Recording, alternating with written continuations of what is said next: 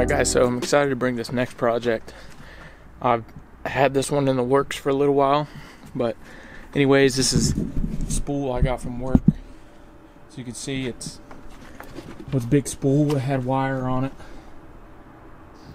And it was just wasting away, so I figured why not try to make it into a pedestal for a deer? So I made I'm in the process of mounting my one deer which is a pedestal wall mount. And I've seen a few pretty cool looking mounts out there. Um, there's a couple of them. I don't know if it's Skull Hooker that has a tree that you can put three different mounts on. So I figured this would be a great one to put it on. So that way I can kind of stagger them. Maybe put this in the corner of our of a trophy room, something like that, and it should be it should be pretty good by the time I'm done with it. So, as you can see, it's got this writing on it that I'm to have to sand out. Technical difficulties. So I think that pedestal will go right here. It'll block this, and then I'll figure something else out. I think I might take old boards from pallets and see what I can do with those. And then here on the side, I might take this this uh, torch, go up and down this, and see if I can bring out the color in this. So it's kind of a work in progress, kind of rigging as I go. So I'm gonna go ahead and I guess start with some sanding, and then I'm gonna take this router, go around the edge, kind of make this a little bit smoother. That way it's not as uh, not as dangerous if you brush up against it or something like that. And hopefully it turns out pretty good. Alright, so I've got this old Porter cable rotary sander. I got something that's a little bit more coarse on there for, to start, just to try to get some stuff off there. Um, this thing's probably older than me, so it's not like I'm working with anything that's all that great. You can probably do it with your hand if you really needed to. But I'm gonna use the tools since my dad let me use them, and it uh, should make things a little bit more bearable. So let's see what it looks like.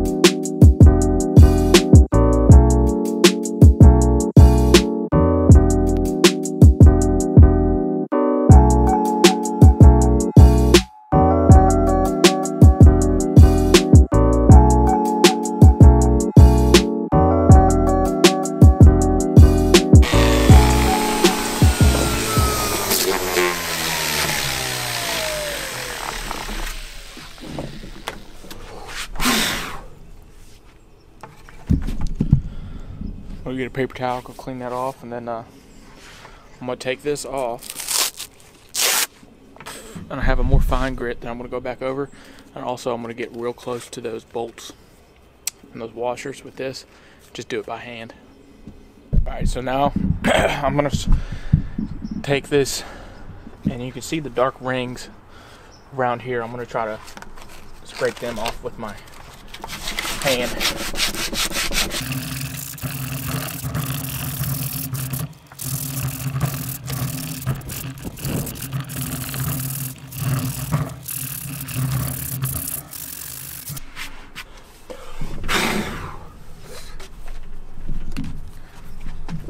All right, so now I'm gonna take this and go around the edge, see if I can't smooth this out just a little bit.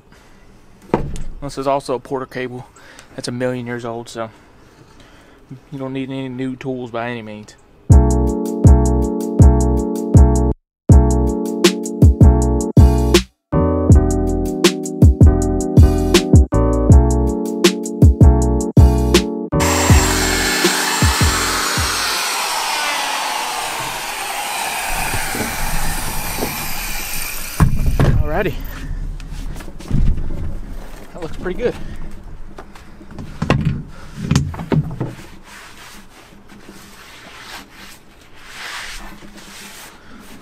So as you can see, I can get out of the way of light. So I tried making this as even as I could. And then I'll come back around.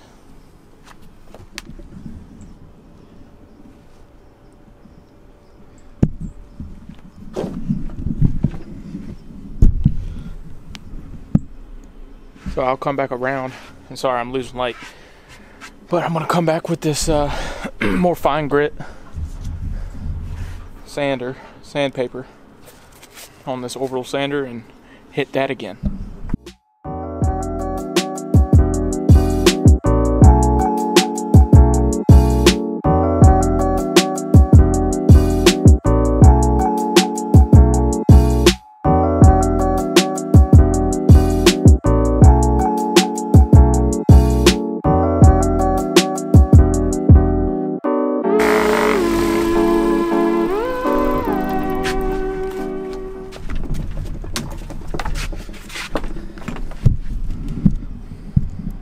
So that should be it for the top.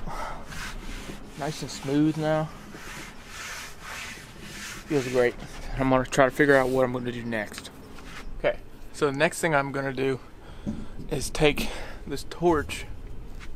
This is just trial and error. I'm gonna take this torch and go down, see if it brings out the color in some of these boards, and if it does work, I'll keep doing it. If it doesn't, I'm gonna stop. So let's see what it looks like.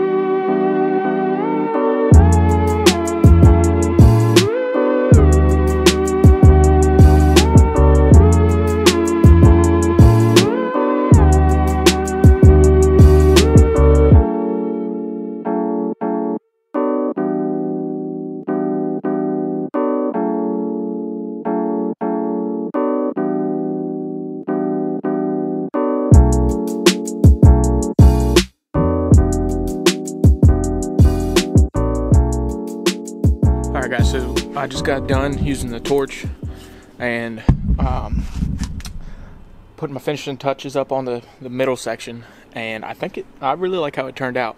But I need to go ahead and take the router to the bottom section and to the bottom of the top section just so it looks a little bit better rounded off. Um, and then I'm going to hit it with the sander I'm unfortunately out of light, but I will bring this inside to do some of the um, staining and whatnot. I have a separate room that I can actually do stuff in. So I'm going to go ahead and get this going and then I'll bring it back in and I'll catch up with y'all. Alright guys, so as you can see, I'm inside now where there's some better light. Please don't pay attention to the mess. So, I'll take this off. All right, so I went through with the torch and I just went lightly over it, tried being as even as I could, and it really, I really like how that looks. That patina looking color. Look dark. I might go back over again and then I'll seal it with some polyurethane when I'm done. And then I took the router over the bottom and then the bottom of this too. So now I'm going to go ahead and flip it over onto the top.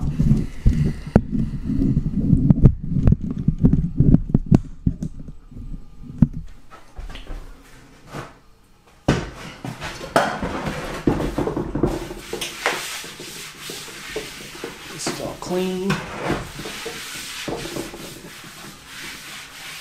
So I also took the router inside of here to try and just round it out just in case this is showing anywhere. I haven't decided what I'm going to do with these yet, but I think I'm going to take this dark wood stain that I've got. It's a Rust-Oleum wood stain. I'm gonna use that. I'm gonna go ahead and take a brush, put it out, try to do it as even as I can. Take some uh, a cloth, go across it, clean it up, and then we'll let it soak, stain, and then uh, we'll see how it looks. And then when I'm done, I'll come back over top with the polyurethane. And that'll be that. All right, so I'm gonna go ahead and open this up.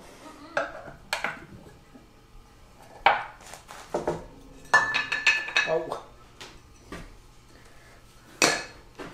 I'm gonna take this shim, kind of mix it up a little bit.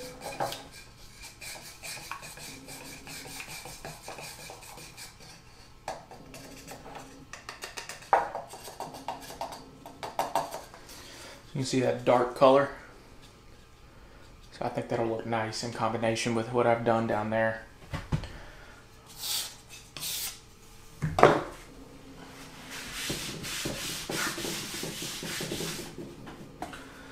Okay, so then I'll take this brush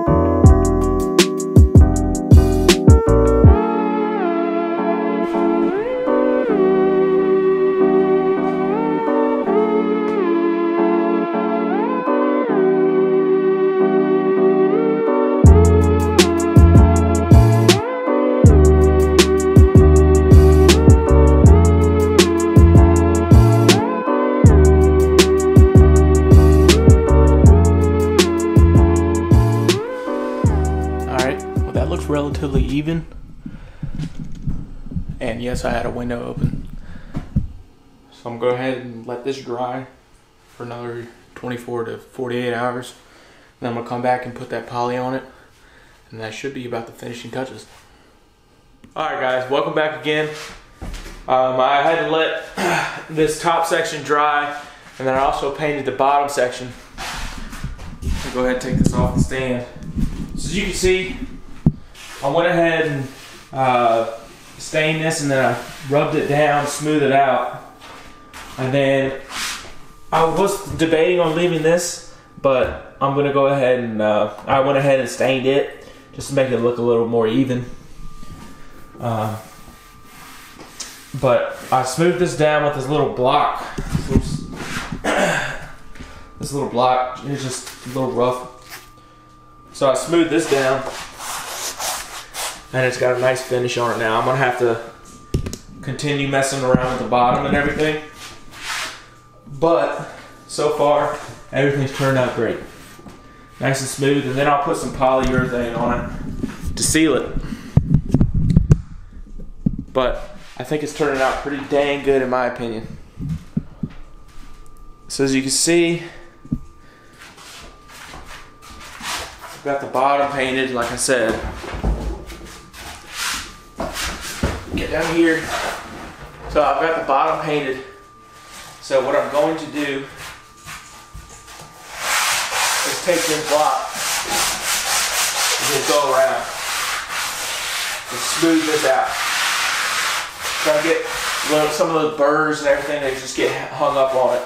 And it also takes a little bit of the, the stain off that I have already on there, which is okay.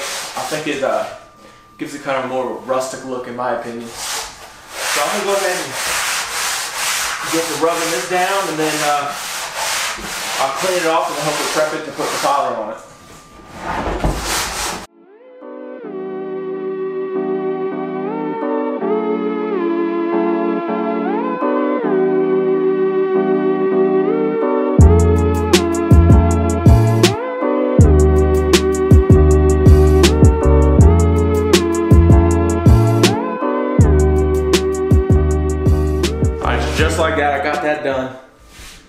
So now I'm gonna take the shop vac. I'm just gonna clean up the dust that's around it so that way nothing gets stuck on it when I go to apply that poly. This has also been able to dry. This one, the top section is probably dry for give or take 72 hours. Um, and then the bottom section, I gave it 24. So that seems like it's the minimum. It seems like it's holding in pretty good. The stain got in. I'm not too awful worried about the bottom either because what you're really to be paying attention to is the side and the top. Or hopefully the deer that are up on top of it.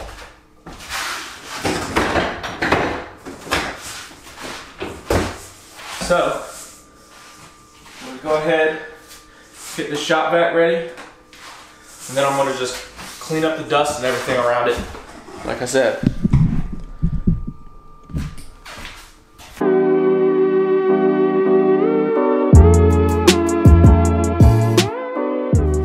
So I prepped the surface like I said.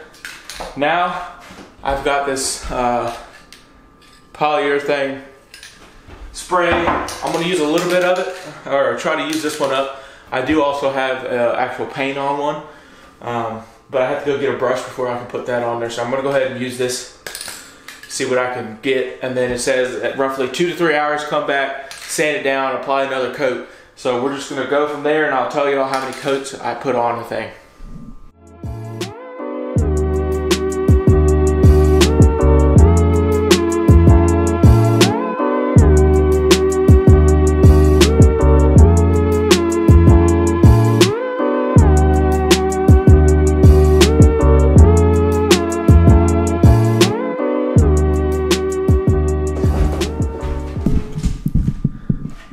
So that's that. I'm gonna let this sit for two or three hours. I'm gonna come back and then I'll sand it down again with this block that I used previously. And uh, put another coat on it probably. And yes, I do have ventilation. There is a window open right here, so I'm aware. Because um, you don't want to be in an enclosed environment with this stuff. It's in an enclosed environment that doesn't have ventilation. So. I'll see y'all in a couple hours. All right, y'all, I'm back. I'm glad to announce that finally that Skull Hooker mini trophy tree has arrived. I'm gonna go ahead and show y'all. I put it together already. So here you go. So as you can see, this one came in a nice brown. Um, I ended up having a deal running, so I'm gonna go ahead and use it. It says each arm can hold up to 35 pounds, so that should be plenty for a shoulder mount, any deer shoulder mount that I've got. And then as a, you can see, these just slide out like so. You pop them back in there, and then there's a spot for a set screw. So I've already got one up in there. And you can see these plates come out as well. So you can go ahead and put that on the back of the deer and just slide that right over like so. Put a set screw in it, shouldn't go anywhere. It also has these nice recessed portholes. So you should be able to get a screw head down in there just fine. And that'll help hold it a little bit better. But I like how it looks, especially with the brown. It also comes in a black. Um, and it seems like it's very sturdy. So I'm gonna go ahead and see how much it weighs. Um, it's not on the box anywhere that I can see, so I'm gonna test it with this little scale I have for fishing. So I've got the set screw in here, so hopefully that, that doesn't come out. I'm gonna turn this thing on. It's zeroed out.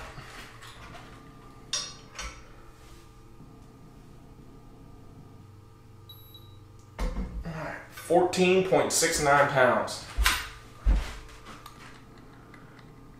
There you go. So as you see, it's got plenty of weight to it um, for anybody that's skeptical about it. It's not too much to where if you were putting it on a table, you'd have to worry about all that extra weight. But it distributes the weight very well, and this is nice solid metal. I'm going to go ahead and situate it how I think it's going to need to go. And then I'll explain some of the other things I'm going to do, and then I'll set it up in the corner of a room, put some deer heads on it, show y'all what this is all going to what the idea is all going to come together and look like. All right, y'all, so I'm very excited for this.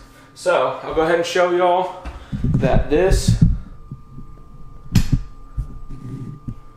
has two holes in the center, as you can see. So this plate, on this mounting plate on the bottom, is perfect to where I can hopefully line it up just about even. In between these, I'm just probably gonna eyeball it. Line up about right, something like that. And that should, as you can see, cover these holes. So you won't even know they're, they're there. And then it also comes with the mounting hardware for if you were to if you were to want to mount this uh, mount your deer to it with these screws it does come with some which is nice um, it comes with a whole bunch of these little set screws with nice tabs on it so you can really cinch them down because nobody wants to put a deer up there and have the feeling that this is unsteady and it could fall off because I know there are some horror stories out there of deer falling off the wall and busting an antler or something, and you don't want to go have to go to a taxidermist and have that fixed. Unless it's me. Just kidding. So, I think I'm going to go ahead and figure out about where I want this, and then I'm going to screw this down. And I might just kind of have a fake screw in there so it's even, just to satisfy me. I got it lined up, and I'm going to go ahead and screw these down.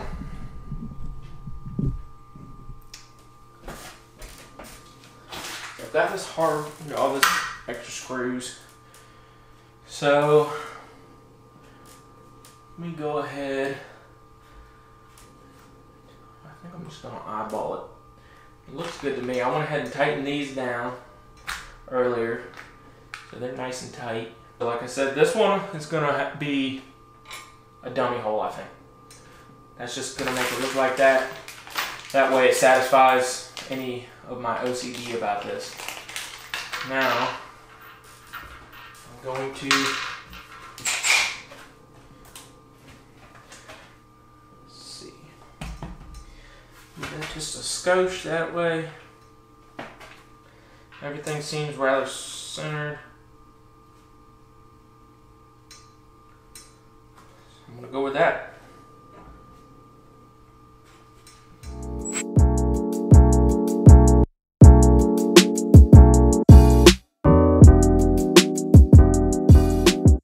That's rock solid. I mean, I ain't going anywhere. Tighten that down. Nah, I ain't going nowhere. The only gripe I have about this little tr trophy tree is that everything is tightened down and these don't line up.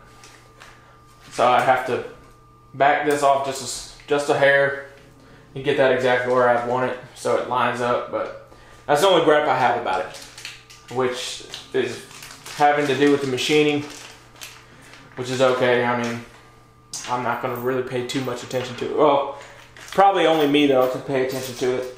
I think the deer is supposed to take all of the attention anyway, so hopefully nobody pays attention to that. So I think I got the decorating part um, down for what I'm going to do. Uh, it's not completely done. We'll see what the girlfriend says, but pretty much I just had this five point side from a deer. I don't know where it came from. Uh, I, well, I take that back. I don't know where the deer antler actually came from, but my girlfriend's twin um, gave it to us. So shout out Kendall, thank you. Um, so I have that, and then I have this really cool looking license plate. Uh, I like how it's nostalgic. It's 40 years old this year. I mean, that says 84, that says 83, so I know it's got to be somewhere in there at 39, 40 years old. And then up throughout, I took some barbed wire. There was some old fence that was down back in the woods, I remembered, and just took that barbed wire, kind of ran it up around that, just to give it a little touch. And then I kind of want to get some sort of cedar board or something that looks like it came out of a barn uh, I'll probably end up getting something from a pallet and then seeing if I can finagle it to look somewhat like a fence. And then that, I think that would be pretty cool. But anyways, this is just my DIY old school throwback deer. So I'm gonna go ahead and take this stuff off right here. I'm gonna leave that on there. I'm gonna carry this out and put it in the living room uh, before the woman gets home, so I don't get in trouble. And then uh, I'm gonna put the deer heads on it, and I'll show you all the final results.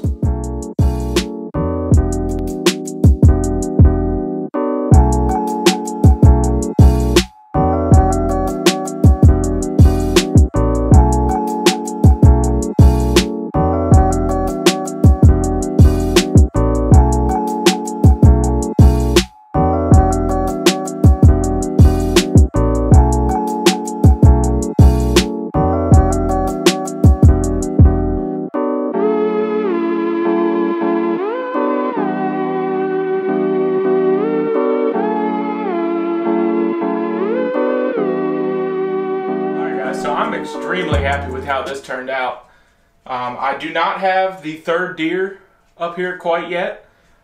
Um, he's I'm still working on him. That's the deer that I have in my other video, my big one.